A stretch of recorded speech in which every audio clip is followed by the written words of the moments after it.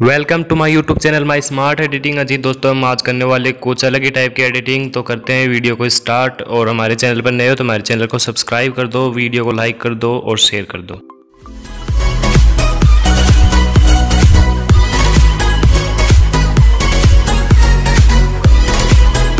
हमें चलना पिक में पिक में जाने वाले हमें लेना हमारा बैकग्राउंड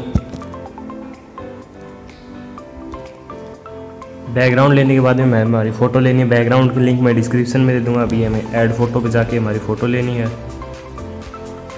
फ़ोटो लेने के बाद में मैं करना इसका बैकग्राउंड चेंज तो बैकग्राउंड चेंज करने में थोड़ा टाइम लगेगा। मैं वीडियो को फास्ट कर देता हूँ। अगर आपको बैकग्राउंड चेंज नहीं करना था तो मैं वीडियो डिस्क्रिप्शन में लिंक दे दूँगा कि बैकग्राउंड चेंज कैसे करते हैं। वहाँ से आप जाके देख सकते हैं। बैकग्राउंड रेज करने के बाद में कुछ इस तरह फ़ोटो को सेट करना फ़ोटो सेट करने पर यहाँ पर इरेजर वाले टूल पे जाने के बाद में इरेज पे करना है और साइज़ को बिल्कुल कम करना है। कैपेसिटी हार्डनेस को थोड़ा कम करना है और हमें एक सेकंड ओपोसिटी को थोड़ा कम रखने के बाद में, पीछे का बैकग्राउंड दिखने के बाद में हमें जाना है। इरेजर पे इरेजर पे जाने के बाद में हार्डनेस को और कैपेसिटी को थोड़ा कम करना साइज़ को कम करना और फ़ोटो को जूम करके यहाँ पर ये जो हमारी चेयर दिखाई दे रही है, इसी इसके ऊपर ऐसे, इसे साफ़ करना है। इस तरह से। कुछ ऐसे इरेज हमें करना है इरेज करने के बाद में हमें करना है टिक टिक करने के बाद हमें जाना है इफ़ेक्ट में इफ़ेक्ट में जाने के बाद में यहाँ पर ब्लर का ऑप्शन देखने को मिलेगा, इस पर जाने के बाद हमें ब्लर करना है। ब्लर करने के बाद में हमें यहाँ पर इरेजर में जाना है इरेजर में जाने में इन्वर्ट पे करना है और इन्वर्ट पे करने के बाद हमें ये एक सेकेंड यहाँ पे इरेजर पे जाके हमें करना इरेजर पे रिस्टोर पे हार्डनेस को कम करना कैपेसिटी को कम करना और साइज़ को थोड़ा कम करना। है इन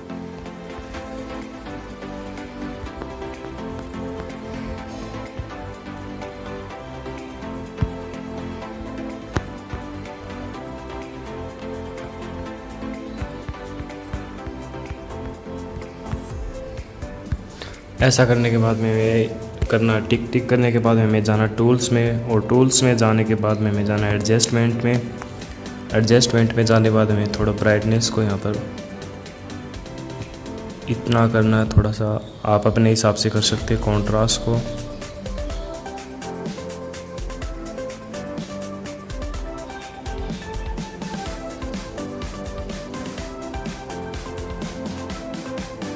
ये करने के बाद में हमें करना फ़ोटो को सेव फ़ोटो को सेव करने के बाद में हमें चलना लाइट रूम में।